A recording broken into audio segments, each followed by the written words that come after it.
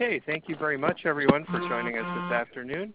My name is Jonathan Mawdsley. I am the Science Advisor of the Association of Fish and Wildlife Agencies. It's my great pleasure to welcome you to today's webinar, which is uh, one in a series that's sponsored by the Association of Fish and Wildlife Agencies in partnership with our good friends at the U.S. Forest Service Research and Development Group. Today's webinar is entitled Long-Term Research to Document Effects of Elk nutrition and predation on mule deer populations. We'll be hearing from Mike Wisdom, research wildlife biologist with the U.S. Forest Service, Darren Clark from Oregon Department of Fish and Wildlife, and Mary Rowland, who is a research wildlife biologist with the U.S. Forest Service.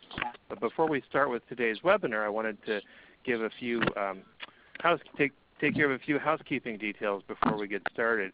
First and foremost, the webinar is being recorded. It will be displayed on a new AFWA website as soon as we have that website up and running. In the meantime, if you'd like to reach out to Monica Thomas or myself, we'd be happy to share you uh, the link where you can find the webinar recording on the web. Second, as you can hear, there is often a lot of extraneous noise on these webinar conference calls, and so what we'll be doing right after Monica Tomosy from the Forest Service introduces our speakers today and today's topic, I will be muting all the lines and then bringing up the speakers so that we can hear the speakers more clearly.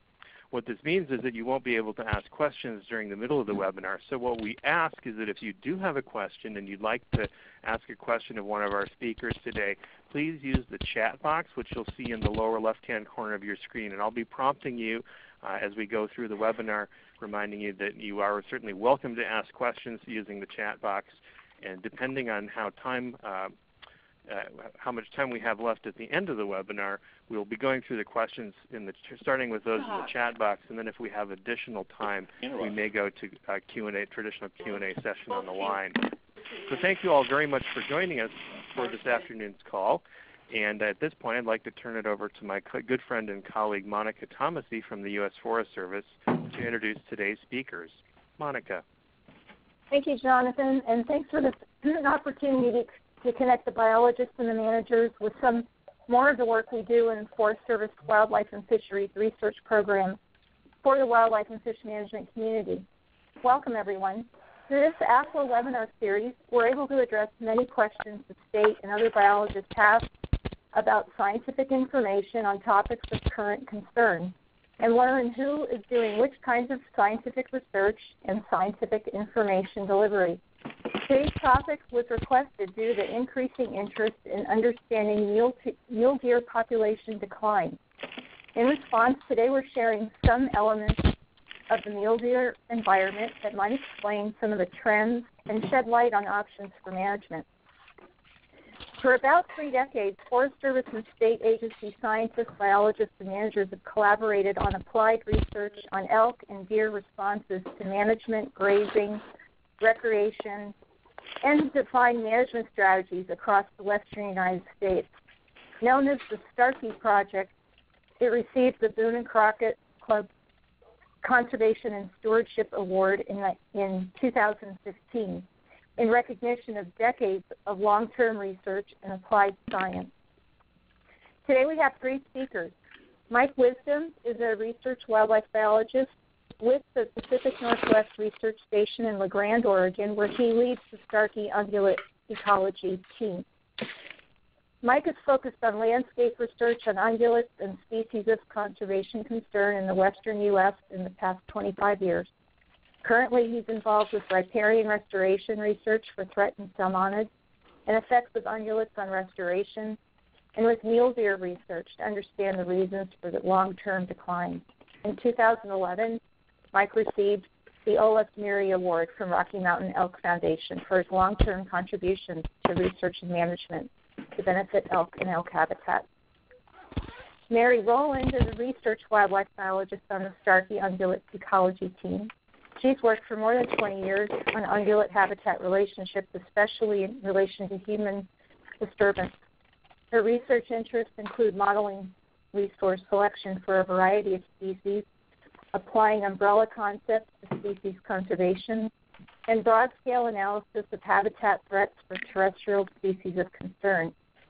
Other work includes applying concepts of viability under the new Forest Service planning rule and practical approaches for standardized wildlife management or wildlife habitat monitoring. And lastly, Darren is a wildlife research project leader for the Oregon Department of Fish and Wildlife. His research background is focused on estimating demographic parameters and growth rates of wildlife populations. His previous research investigated carnivore ecology and the effects of predators on prey populations. He's currently leading research on mule deer, elk, their habitats, and predators. Thank you very much. Take it away. All right, we're going to mute all the lines and then bring the speaker lines back up so you don't have extraneous noise. Hold on one second. The conference has been muted.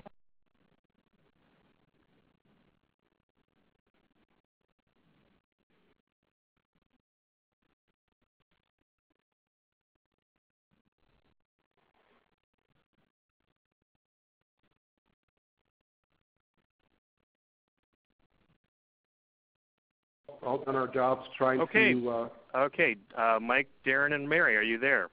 yes. Can Very good. Take it away. Yes.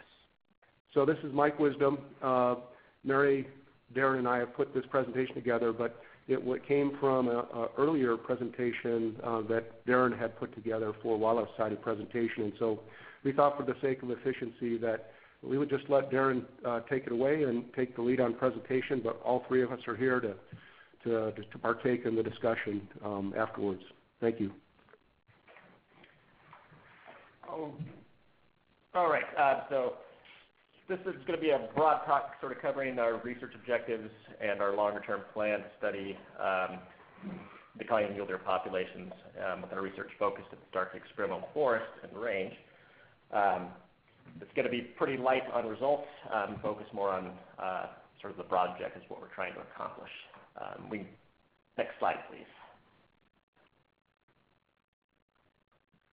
So mule deer are widely distributed across western North America, um, and most states have pretty healthy mule deer populations, but we have been seeing declines across, across a wide range of habitats. Um, you can see on that figure there on the right.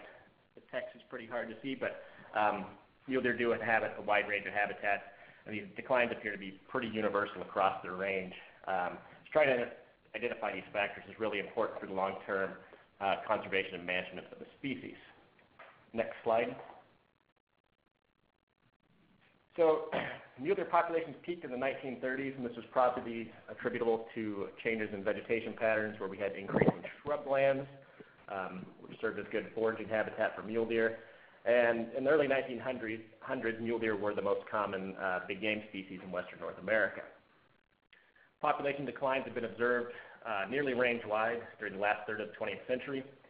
And in the 23 states where uh, Western Association of Fish and Wildlife Agencies uh, monitors population trends, um, most populations are below management objectives.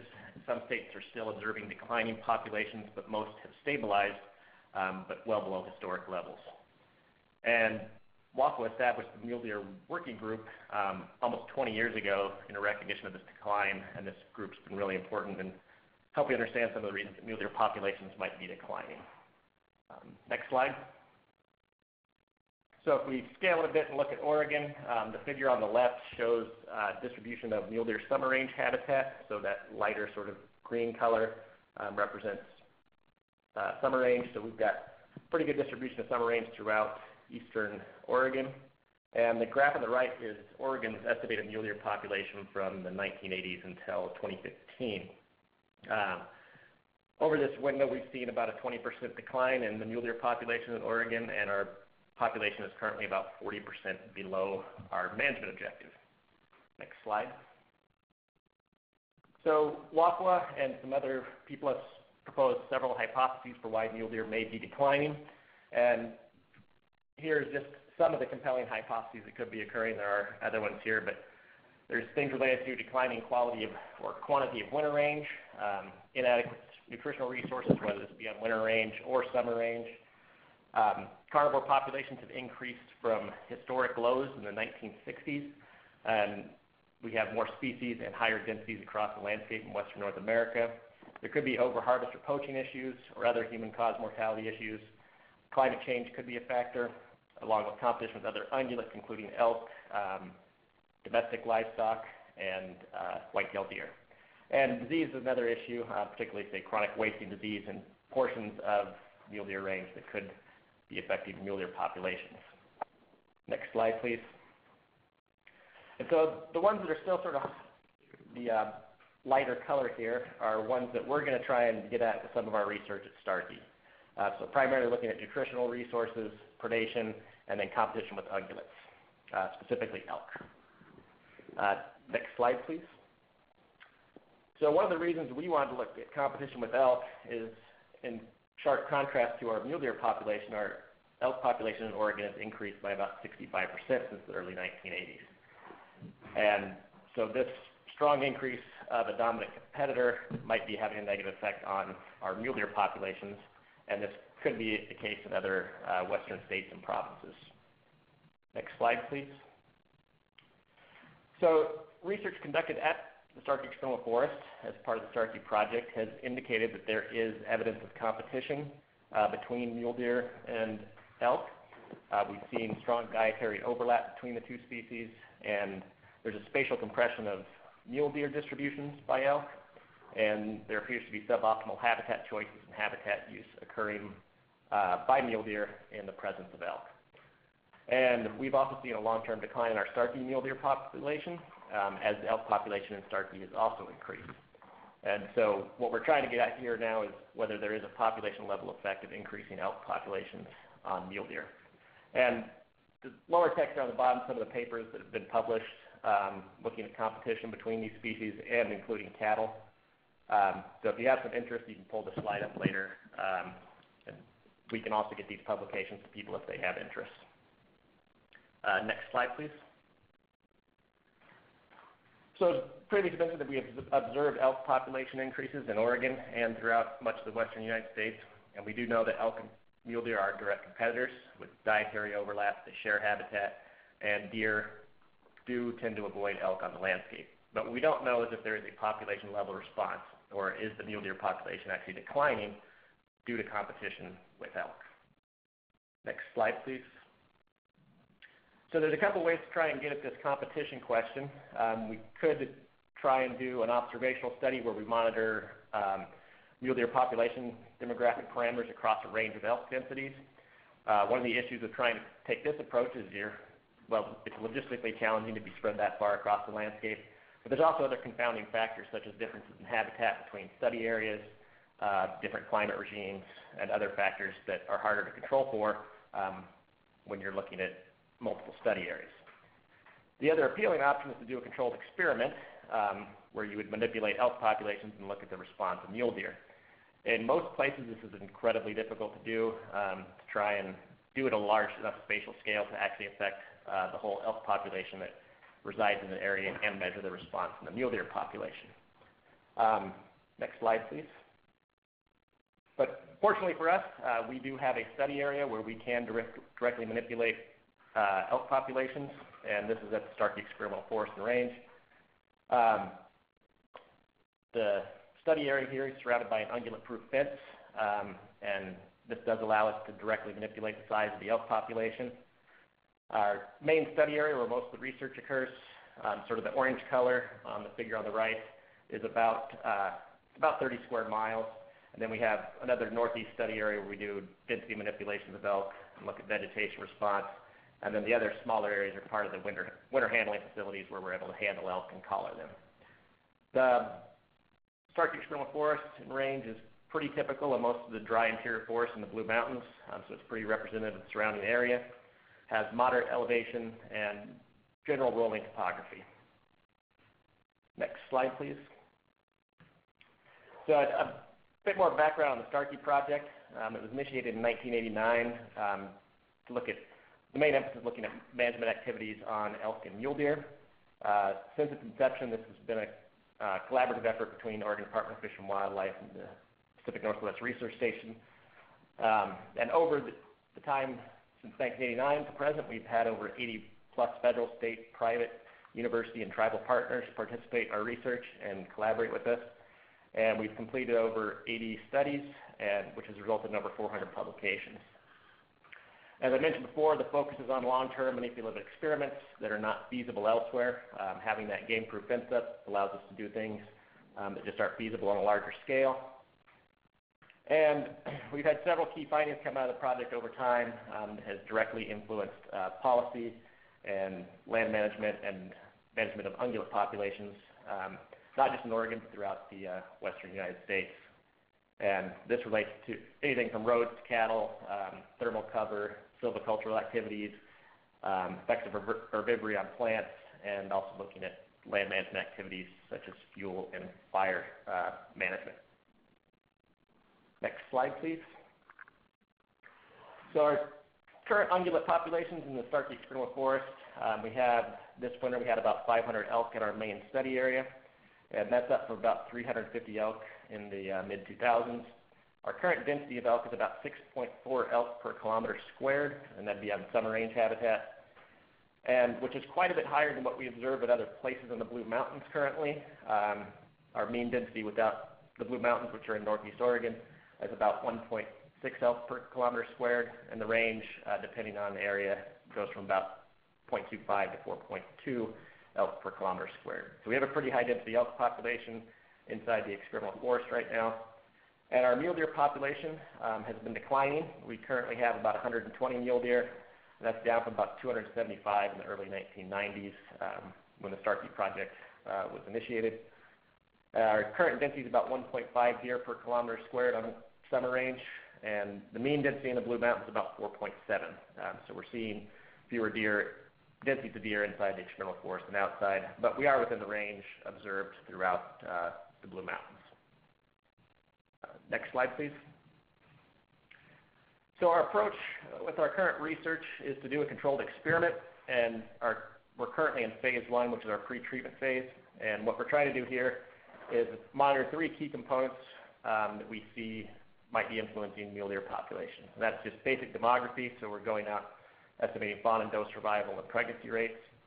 We're also looking at mule deer nutrition, trying to understand nutritional resources available to mule deer and how they might be using these in the presence of pretty high density elk populations. And then we're also um, trying to estimate effects of predation and how this might be influencing mule deer population dynamics.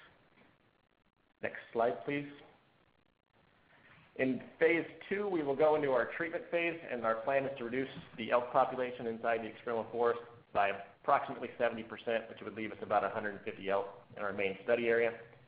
And we continue to do post-treatment research for five to six years and monitor the same things that we've been collecting um, pre-treatment.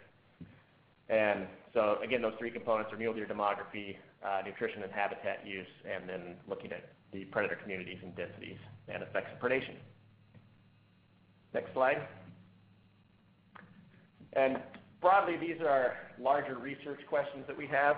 Um, and through the controlled experiment, we'll be able to get it uh, before and after response of the mule deer. So we want to look at things like do mule deer use habitat um, that elk previously prevented them from using due to competitive exclusion, and does this result in higher body conditions and pregnancy rates and survival of mule deer? Um, they have better access to higher quality habitat due to elk no longer being as high densities, these are the things we should expect to see um, from an increased population performance um, from a bottom-up standpoint. Uh, we're also looking at the top-down part of this, so what role does predation play in deer population dynamics? Um, and any ungulate study, you need to also key in on both the bottom-up and top-down forces to really get a good understanding of the true dynamics. And ultimately, the thing we want to find out is does reducing the elk density actually result in a population level increase of mule deer? Um, so looking at all the individual components of demography, so survival and pregnancy rates, body condition, does that actually translate to an increased population level of mule deer? Next slide, please. So I'm going to kind of go through each of the components here and how we're collecting the data um, and what sort of things we're looking at. So one of the key things we're looking at is winter nutrition. So some of mule deer and Starkey voluntarily enter the winter feed ground where they are supplementally fed all winter, and then other mule deer do voluntarily stay out in our main study area and are not supplementally fed. And so one of the key things we want to look at is the pregnancy and survival rates of does and their fawns um, that are fed are higher than those that stay out in our main study area and are not supplementally fed all winter. And if we are seeing a difference, this may suggest that winter range or winter habitat might be limiting for mule deer populations and be contributing to some of the dec- declines we're observing. Next slide, please. We're also looking at summer nutrition, um, which is a key factor influencing body condition of these animals entering winter and also determines whether they're going to get pregnant um, during the rut. And so one of the key things we're trying to do is develop maps of nutritional resources available to mule deer within Starkey. So this involves actually going out and clipping vegetation and measuring the quality and quantity of forage on the landscape and developing a predictive map from that information. And, but then we also want to tie that into if mule deer habitat use, if they're optimally using the landscape and getting these areas of higher quality forage, and if this ultimately influences their body condition going into winter, and if that ultimately influences their own survival and survival of their fawn the following year. And the other thing, as part of the manipulative experiment, we'll look at before and after to see if mule deer change their response and if elk are excluding them from areas of higher quality um, nutritional resources on the landscape. Next slide, please. And so this is a hypothetical example what we're trying to develop here, just ranking the landscape um, from poor to high quality forage conditions or nutritional uh, anyway, the degree to which the high quality forage is spatially represent the landscape. And so what we want to assess with this is you know, are mule deer in the presence of high density elk populations currently restricted to using, say, these yellow or red areas on the map, which are fair to poor quality nutritional resources. And after the elk are reduced, if they start to expand out and start using the excellent to good areas uh, to a higher degree, that ultimately influences their fitness level. Next slide, please. So we, every year at Starkey we do uh, capture and handle mule deer and place GPS collars on them. And so we will be looking at just general habitat use to developing resource selection functions, uh, mule deer over time, and comparing um, our pre-treatment data with high-density elk populations to habitat use following the reduction. And as I mentioned also, we're going to look at whether they're shifting their use of the nutritional landscape in response to changes in elk density. And really trying to get if elk are competitively excluding mule deer um, from preferred habitats, which is resulting in uh, reduced body condition and potentially survival. Next slide, please. So the other key thing we're trying to do, since we are trying to get a population level response on mule deer, is monitoring demographic parameters. So we do capture and place GPS collars on a subset of the does every winter, usually about 25 to 30 individuals. Uh, this will get us information on habitat use, but also get us survival and cause-specific mortality.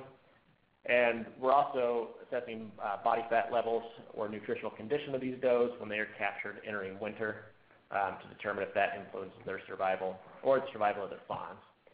So any does that are captured um, in December or January and they are pregnant at the time of capture are fitted with a vaginal implant transmitter, um, which is used to help locate and collar fawns uh, during parturition the next year. And by collaring fawns, again, we're getting survival and cause-specific mortality information. Next slide, please.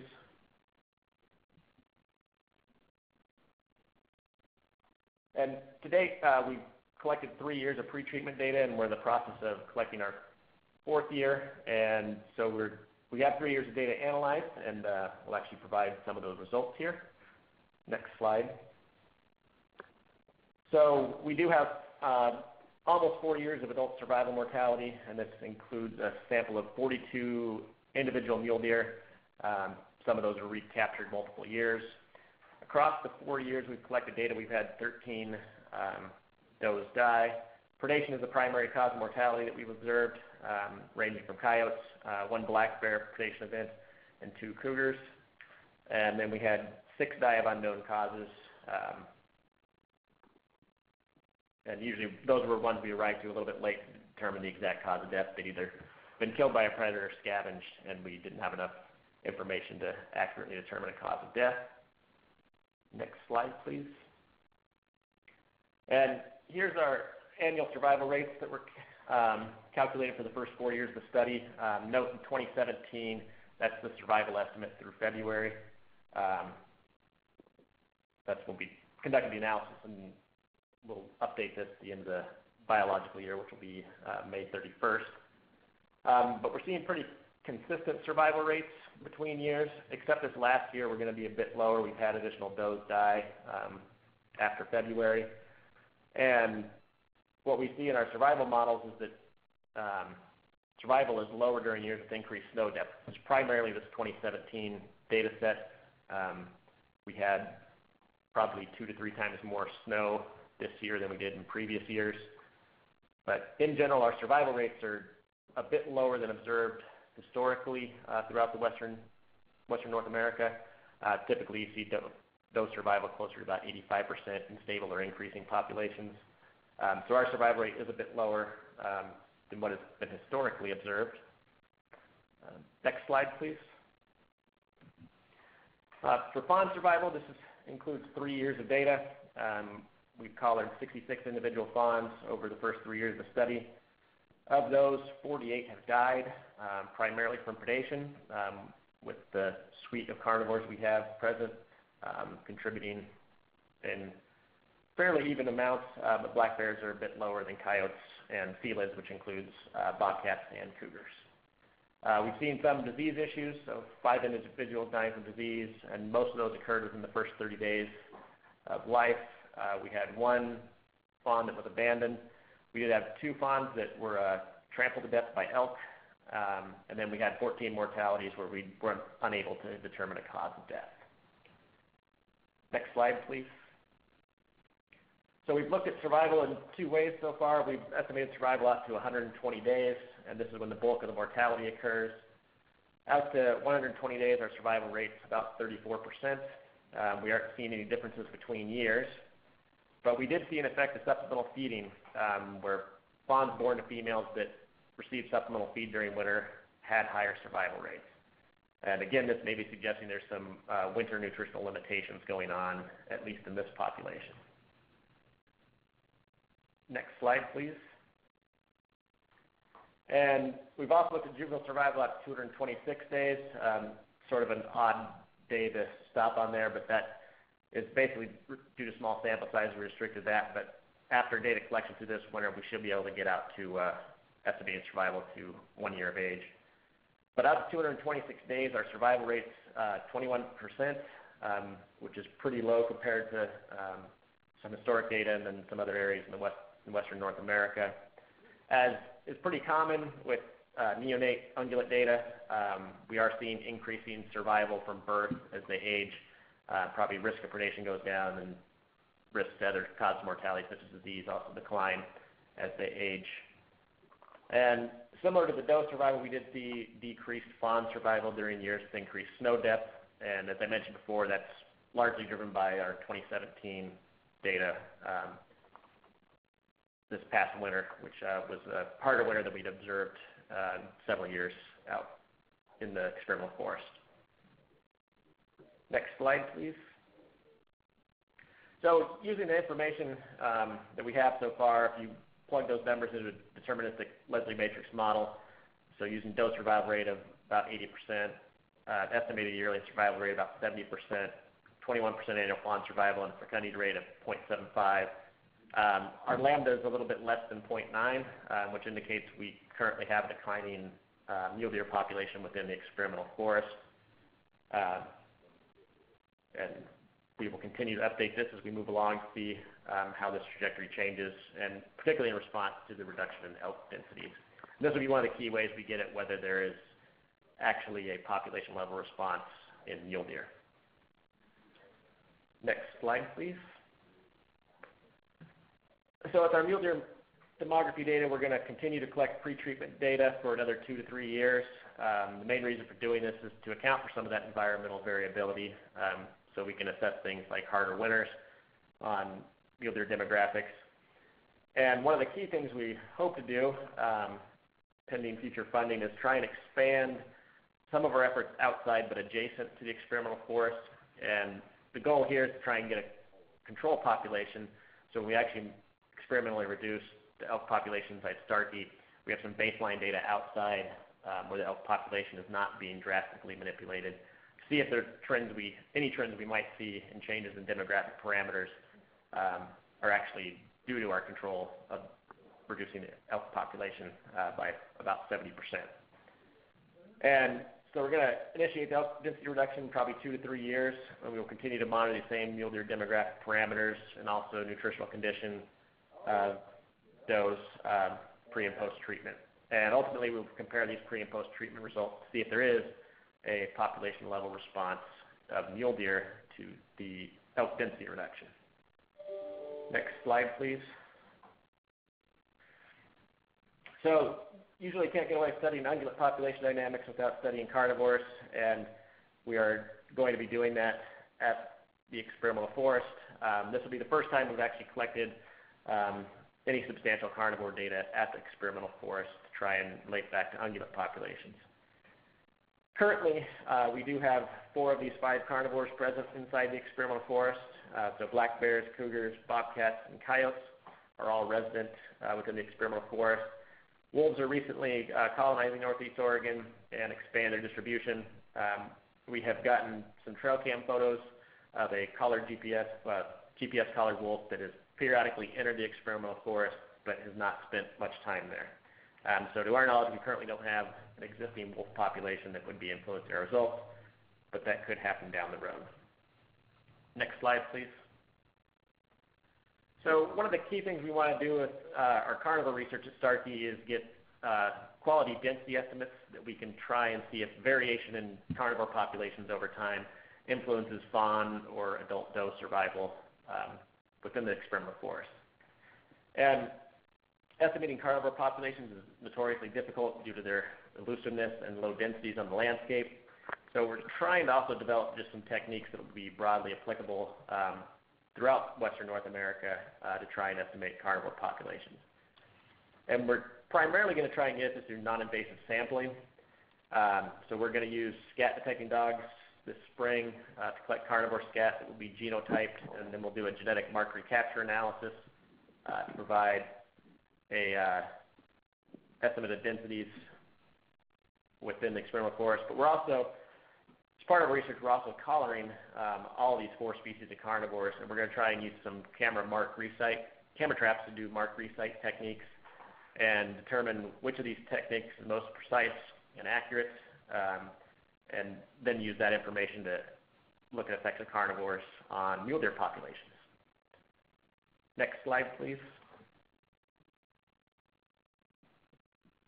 And we're also trying to look at habitat use of all four of these carnivore species. Um, so we're putting GPS collars on bobcats, coyotes, cougars, and black bears. And one of the key things we also want to look at is habitat use of carnivores, or which from the mule deer side would be viewed as risk of predation. Does that influence how mule deer are using the landscape? And again, that ties back into some of the mule deer nutrition mapping we'll be doing and seeing if presence of carnivores actually excludes mule deer from actually accessing some of their higher quality forage resources that they might want to get at, or if these areas might be um, good nutritionally for mule deer, but they might also have the highest risk of mortality, and somehow mule deer have to reach that balance of nutritional resources and risk of predation um, to optimize their fitness level. And a bit independent of some of the mule deer work is we're also trying to look at how carnivores interact with each other in the landscape, and if they competitively exclude each other and how their use of the landscape and potential for competitive exclusion uh, influences their ability to prey upon mule deer and ultimately influence mule deer populations. Next slide, please. And one of the other benefits of uh, collecting a lot of this information on carnivores is on many of these species, uh, black bears, bobcats, and coyotes particularly, um, we're simply lacking some of the basic species-specific information in Oregon. So things on home range or territory size, survival rates, and diet um, are lacking in our area, and so collecting this will be just good baseline information to help manage these species also. And next slide, please. And so here we've got our, uh, this is a complicated figure of our interpretation of how the world works, at least as far as ungulates goes. Um, So there's lots of things going on here, and the exact details aren't terribly important, but effectively at the top, we're dealing with um, sort of top-down, what bottom-up forces. We have it sort of backwards here. Um, so things like climate, how that influences uh, vegetation, how these vegetation patterns then influence habitat use and nutritional condition of both deer and elk. And then there's interactions between deer and elk. And then if you come from the bottom end, we're looking at top-down forces such as human harvest um, and space use and predation, use of landscape by predators, and then their direct predation effects on cause-specific mortality and how that ties into survival rates and recruitment of fawns. So this is lots of things going on here. Um, next slide, please. And so we're trying to do our best to try and fill in all these holes to identify which of these factors are having the largest effect on mule deer population dynamics and also on elk uh, dynamics. So all the things that are still highlighted in that are highlighted in dark blue, um, those are things we are currently collecting information on as part of this mule deer research. Um, and then the things that are in green are historic data sets that we collect at Starkey and are continuing to collect. Um, and this will all ultimately work into a larger synthesis of us trying to understand how um, ecosystem processes play out with large ungulate populations. And then the sort of brown ones are ones we're still not directly collecting a lot of information on, but in time we will probably have uh, more of this information to continue to move through. Um, next slide, please. So the past figure was sort of more complex, sort of that's our simplified view of reality. Um, and this is a bit even more simplified, more related just to our current mule deer research. And so we have this sort of broken out into a few different boxes. So we have our carnivore component, elk, directly competition with elk, but then how this influences mule deer habitat use, mule deer nutrition, and mule deer population dynamics. Um, next slide, please. And so the key thing for us here is determine how these things link together and what the strength of these interactions are between um, each of these different boxes. And ideally, we'll be getting some of this larger synthesis work in the next probably five to 10 years um, after we wrap up most of our major data collection on part of this project. But as the Starkey project has such a long historic data set, um, we should be able to really get some quality answers and really understand how some of these dynamics play out um, to influence mule deer population dynamics. And next slide, please. And so we should end up having plenty of time for questions here. Um, we wanted to leave a bit of time just for some general discussion at the end. Uh, but this is a very large collaborative research project um, with the Oregon Department of Fish and Wildlife and U.S. Forest Service Pacific Northwest Research Station um, played a large role. But we also uh, work directly with universities, and we're working with the University of Idaho, University of Nevada, Reno, and Oregon State University as part of our current mule deer research. And with that, we can open up to questions if there are any. Great. Thank you very much for that terrific presentation, Darren, Mike, and Mary. We really appreciate you sharing this information with the audience. We've got a really great audience today, and we do have a number of questions that have come in in the chat box. I just want to call everyone's attention first and foremost, Jim Heffelfinger at associated with the Western Mule Deer Working Group has sent a couple of links. I'm not sure if they're showing up for everyone, but the Western Association of Fish and Wildlife Agencies has uh, latest status of mule deer in the West, as well as uh, a fact sheet on deer elk competition issues. It's available on the WAFWA website, www.wafwa.org, and I invite folks to look at those if you're inter- have further interest in these areas. Our first question here, though, is from Joe Gergen, who is with Safari Club International Foundation. He's curious as to how Boone and Crockett is involved and wants to know how Safari Club might be able to be involved as well in this research. Uh, this is Mike Wisdom, and the Boone and Crockett Club has been a long-term partner in the Starkey research and has uh, helped um, with input from their their board and their members on the design of this research and has really helped try to go out and find and secure funding among a lot of different partners. So they've they've been involved a long time. Um, we do have uh, obviously some big challenges in trying to maintain this long-term data stream to really complete this project. That's one of our biggest challenges, and uh, any of the hunting conservation groups, uh, we would welcome any discussion about how uh, more resources could be um, directed to help maintain that data stream, because obviously, especially in the Forest Service these days, uh, our budgets are down. They continue going down. So we really do try to partner up with lots of different interested um, groups, including uh, Safari Club would be fantastic to partner on this if there's interest. Great. Very good. We're happy to facilitate any of those conversations through AFWA, or please feel free to follow up directly. Um, question here from uh, Eric Abelson. I'm curious about the temporal scale of habitat use assessment. What will the fix rate be for deer and versus predator GPS collars? Uh, this is Darren. Um, our fix schedules vary a bit by species. I believe we have all of our carnivore collars sampling on a two-and-a-half-hour interval, I believe, Um, so we can get some rotation through um, sampling different periods of the day um, over time. Our deer and elk collars have 90-minute fixed rates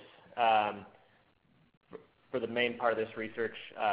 Some of our other research, the fix rates get bumped up for some of our hunting-related research, but we can sub-sample back down to have that 90-minute fixed rate throughout the year. Great. Thank you. Question here from John McLaughlin. How will you reduce the elk numbers? Capture, relocation, hunter-harvest? Uh, this is Darren again. Um, we'll primarily rely, hopefully rely on hunter-harvest, um, but with the understanding that we want to do this reduction in short a time frame as possible.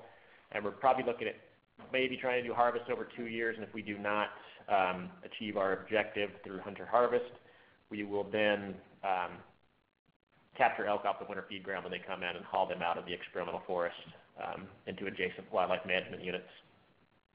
This is Mary. Just an additional note to that's one um, great advantage of Starkey with the hunters because there's basically one main gate, and so we get a lot of population data from harvested animals and hunters themselves. So it's a really good way not only to offer hunters the opportunity to harvest instead of us just trucking them out or something, but we can also get a lot of really good biological data. Great. Thank you. Question here from Adam Grove. Do you currently have mule deer summer range nutrition quality information or some correlate information such as body fat or body condition of does going into the winter? Uh, This is Darren. I'll just keep answering. Uh, we are collecting the body condition information as part of our capture operations every winter on mule deer. Um so we have that information, and our grad student at University of Idaho is uh, entering her second field season, um, going out and sampling vegetation uh, to get at quantity and quality of forage species on the landscape, and then we'll be producing nutritional maps of the landscape within Starkey as part of that, her master's work.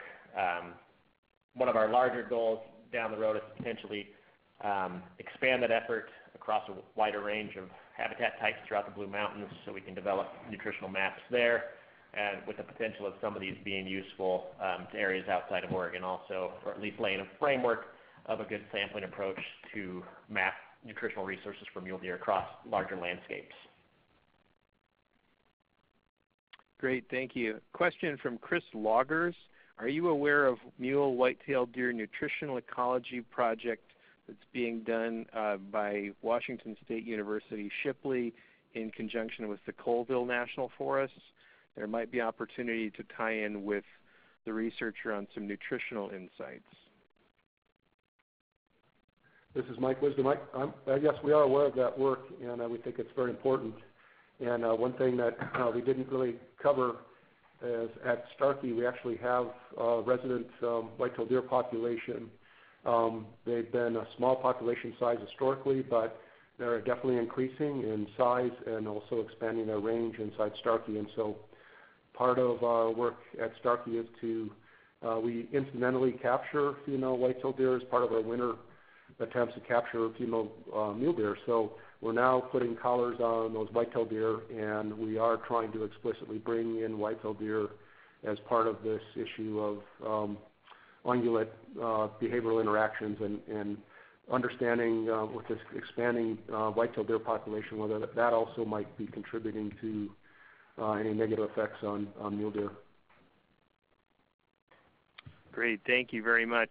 At this point, we've run out of questions in the question box, and so what I'm going to do is unmute the lines, and we still have over 80 people still on the line at this point, and so uh, we're going to, I'll ask for questions, and uh, we will do our best to try to get through as many questions as we can in the min- minutes remaining. So hold on one second, and I'm going to The conference the has been unmuted. Recognizing that we may have some extraneous background noise, but I see that John Pierce has his hand raised. John, did you have a question? Uh, not really. I guess I didn't know my hand was raised, but uh, I'm just uh, kind of listening in. And, um, one thing I do plan on following up with is getting a hold of you guys, and, maybe starting with Mike, about. And I don't know if you've heard of the predator prey study that we're starting up in Northeast that has a lot of similarities, and um, looking for ways that we might be able to, you know, work effectively in collaboration. Sounds great, John. Love to talk. Great. Thank you. Are there any questions, additional questions for the speakers?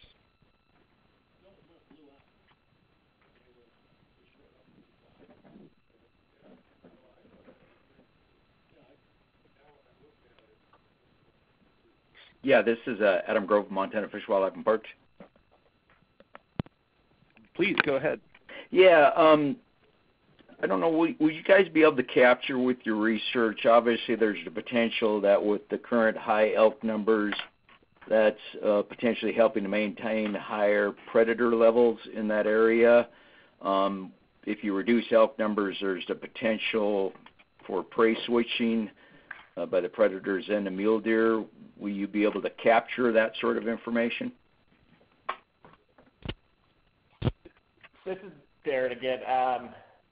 We've had a lot of internal discussions about that, um, and we will be monitoring, um, doing some diet work, uh, mostly through non-invasive sampling of scat. Um, so we could probably pick up on some broader shifts. We aren't doing the intensive labor work of you know monitoring clusters and seeing what the carnivores are killing, but we will have the uh, cause-specific mortality information for all the collars. But we've had lots of interesting debates on whether we're going to cause a predator pit scenario inside the fence, um, or deer or elk, um, for that matter. Um, so we are going to monitor that. Um, but anybody else have any thoughts on that side? Uh, I guess we all have our own hypotheses about that, but that's a, a real possibility. Um, and, and I think, I mean, Darren's right. We're we're in position to be able to monitor that those effects quite well. So I guess that's that's the reason for doing the research to learn about these things. Right. And we do know from telemetry data on the predators that they are, you know, moving back and forth across the fence, and so, um, you know, it's sort of an open population. So, but yeah, this, we, we don't know what's going to happen exactly. Great. Thank you, Adam. Any further questions? From anyone on the line?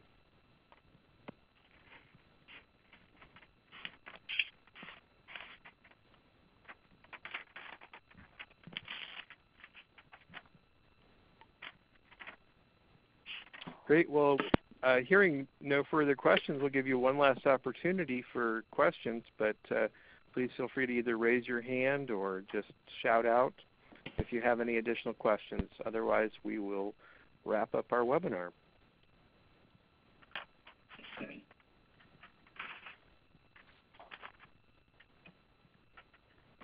All right. Well, thank you all very much for participating in this terrific webinar today, and uh, especially want to thank Mike, Darren, and Mary, particularly Darren, for sharing this information with us. And uh, from the Association of Fish and Wildlife Agencies, we're delighted to have such a great crowd today on this very uh, timely and relevant topic.